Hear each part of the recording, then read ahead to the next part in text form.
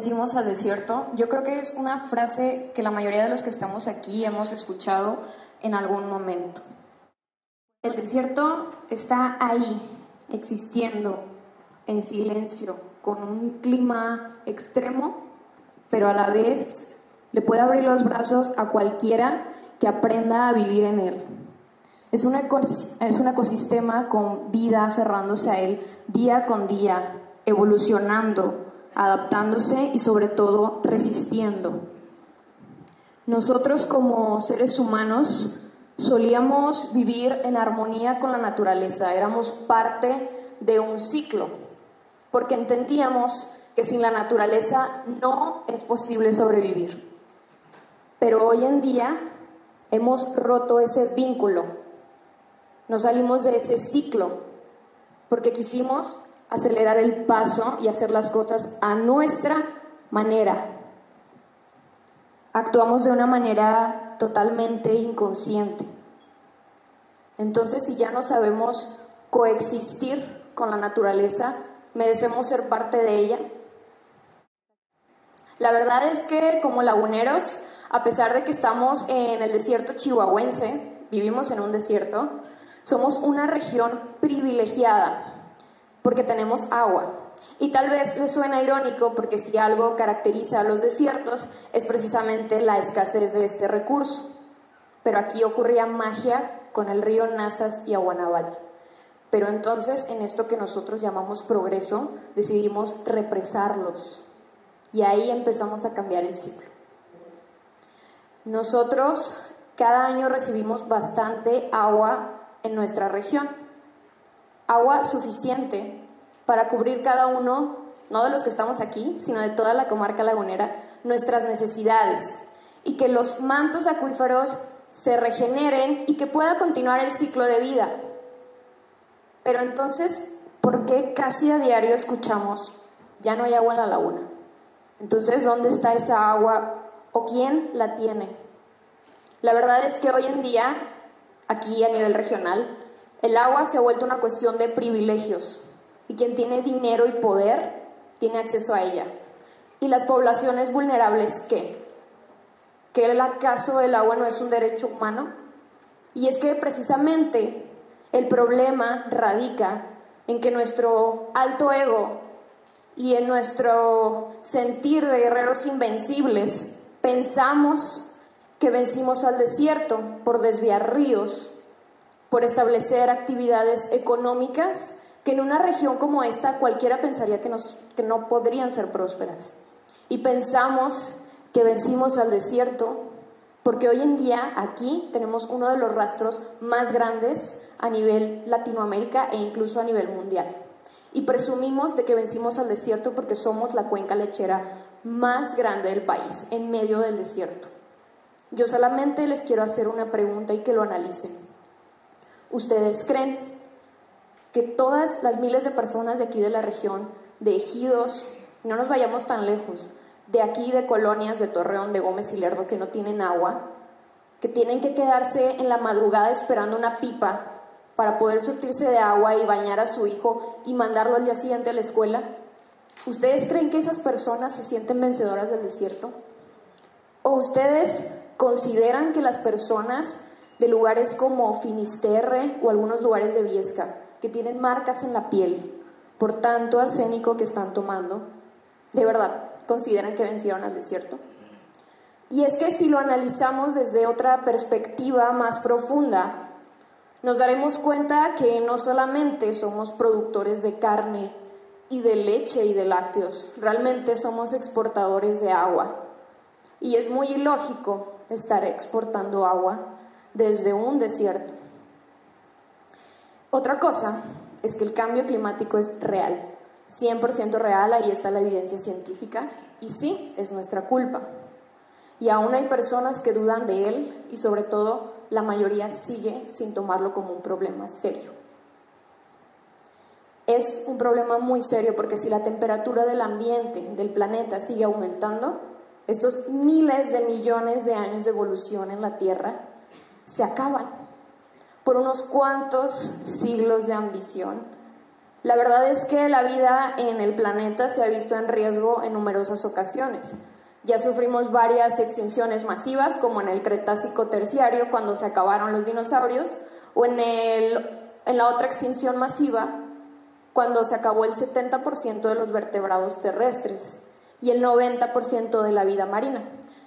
Pero hay algo que es importante recalcar, que estas extinciones masivas ocurrieron por factores externos, por objetos celestes de enorme tamaño que colapsaron con la Tierra, no estaba en las manos de nadie.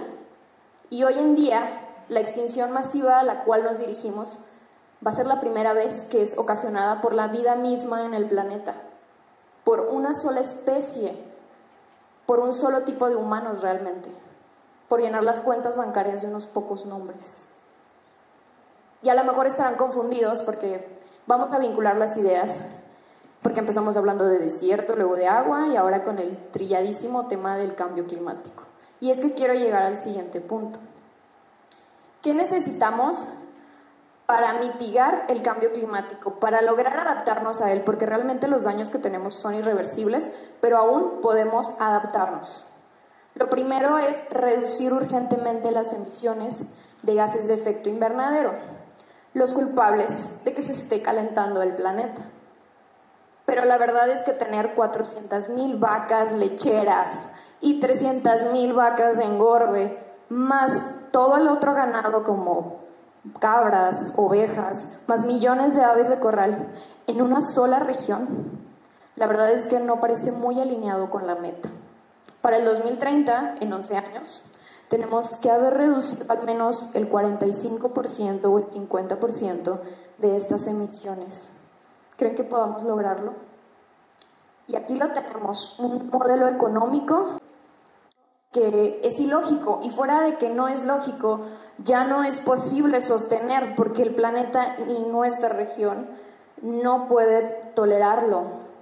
Es que no es exageración, de verdad es ilógico que pretendamos invertir todos nuestros recursos naturales en una sola actividad económica como es la agropecuaria porque esto tarde o temprano va a colapsar. Y cuando esto pase, cuando exista este colapso ambiental, ni siquiera este tipo de actividades se van a poder hacer, porque sin agua no tenemos nada y sin suelo fértil, ¿qué vamos a hacer? Entonces, precisamente es la urgencia por actuar. Hoy en día necesitamos que las empresas sean más conscientes de lo que están haciendo. Estas empresas y estas compañías e incluso nosotros mismos pensamos a un corto plazo, un beneficio monetario inmediato. Las ganancias son muy buenas, pero son para pocos. Y el negocio es rentable, pero no para todos. Realmente pocos se atreven a cuestionarlo. Y realmente hay muchos intereses de por medio pero no hay un interés por el medio ambiente ni por la salud pública. Nosotros le otorgamos la licencia a estas empresas para contaminar y por eso precisamente son socialmente irresponsables. No son socialmente responsables. Necesitamos ahora adaptar. Tenemos mucha resistencia al cambio. Creemos que no es posible cambiar esto, de aquí somos y de aquí no nos movemos. Hay una resistencia enorme al cambio y en algún momento ya habíamos cambiado nuestro modelo económico porque pasamos de ser un emporio del algodón y de la uva a ser un emporio de la carne y de la leche. ¿Por qué no repensar la economía? Y es que la verdad es que ya no es opcional. Esto es sí o sí, porque estamos en una emergencia climática. Hoy en día existen muchas alternativas dentro de la economía como modelos de negocios enfocados a, cumplir los objetivos de desarrollo sustentable, que los necesitamos para cumplir estos acuerdos internacionales que nos van a ayudar a combatir el cambio climático. Necesitamos urgentemente reducir estas emisiones y precisamente cambiar este modelo de negocios. Porque actualmente tenemos otras opciones como la economía circular, Existen las finanzas sustentables que nos permiten evaluar las inversiones no solamente en la parte económica, sino agregando otras cosas, como estos factores ambientales, sociales y de gobernanza. ¿Por qué pasa esto? Porque realmente los inversionistas se dieron cuenta que también las compañías y su capital está en riesgo ante el cambio climático, pero aquí no lo hemos entendido. Y precisamente por eso es que necesitamos actuar. Hoy en día el concepto de sustentabilidad aquí en la región es solo una palabra. Estamos muy lejos de alcanzarlo y no estamos dando pasos firmes para hacerlo. El problema es que el tiempo se acaba. De verdad vale la pena masacrar un ecosistema por un supuesto desarrollo económico, porque la verdad es que parece que ni siquiera ese objetivo estamos cumpliendo. Y nos decimos seres racionales, pero ni siquiera podemos discernir entre progreso y peligro necesitamos reasignarle un valor a las cosas, que vale más en el desierto un diamante o un vaso de agua. Nuestro antropocentrismo condenó y está condenando a todas las especies del planeta, porque nos sentimos con el derecho sobre la vida. Hicimos de la vida una mercancía y un producto. Mercantilizamos con la vida. Hoy en día damos y quitamos la vida a nuestro antojo. Y lo peor es que le quitamos la vida a especies de una manera muy cruel y ya no por cumplir el rol de la cadena trófica, sino por ambición.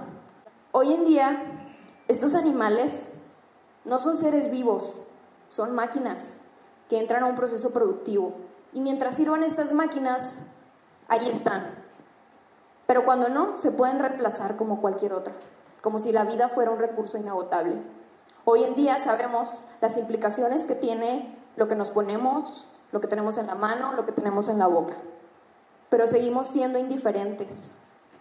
Quiero comer carne, pero me incomoda ver el proceso por el cual tuvo que pasar para yo tener ese pedazo en mi plato. Entonces cierro los ojos y me hago cómplice. Hoy no vengo a deprimirlos, sino realmente a hacerles una invitación de que tenemos poco tiempo, pero estamos realmente a un paso de poder alcanzar esto. Yo te digo a ti que si hoy te movió algo, salgas y hagas algo. No te quedes sentado, de verdad. Todos tenemos una voz que puede ser escuchada. Hay muchas maneras de hacerlo y si no sabes cómo hacerlo, acércate a personas que puedan ayudarte. Ya tuvimos una ponencia de activismo, por ejemplo. No vengo a intentar desmontar una industria, sino hacernos reflexionar cómo podemos juntos salir de esto, porque alternativas tenemos muchas, lo que tenemos poco es voluntad de cambiar las cosas. La cuestión es que no podemos seguir siendo intrusos en este planeta. No podemos ir sirviéndonos de la naturaleza sin servirla a ella, porque tarde o temprano la naturaleza va a tomar el mando, y de hecho ya lo está haciendo nos está dando patadas a ver si así respondemos. Yo considero que hoy tienen dos opciones. Seguir indiferentes, sentados ante estas injusticias ambientales y sociales, o tomar la opción de alzar su voz. Y me gustaría que fuéramos más los que tomáramos la segunda opción, porque aún falta mucho por lograrlo. Tenemos que vencer la indiferencia, el egoísmo, el individualismo, pero no tenemos que vencer al desierto. Con el desierto tenemos que aprender a vivir. Muchas gracias.